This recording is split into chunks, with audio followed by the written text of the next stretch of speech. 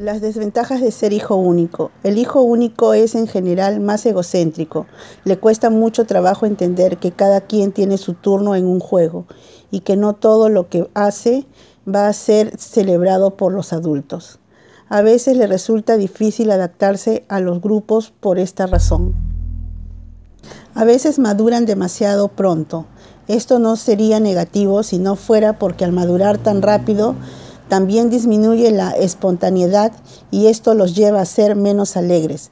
Les cuesta trabajo permitirse hacer tonterías y si bien esto les agrada a los adultos, puede que en los chicos crezcan siendo demasiado rígidos. Tienen problemas para ser generosos, les parece normal que cada quien arregle sus propios problemas y resuelva sus propias necesidades.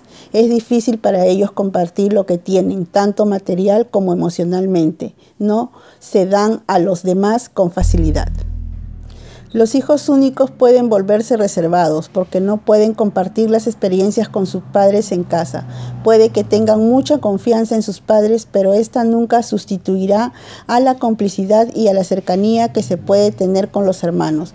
Por eso pueden volverse algo reservados y distantes. También es posible que sean poco diestros en resolver conflictos con los demás.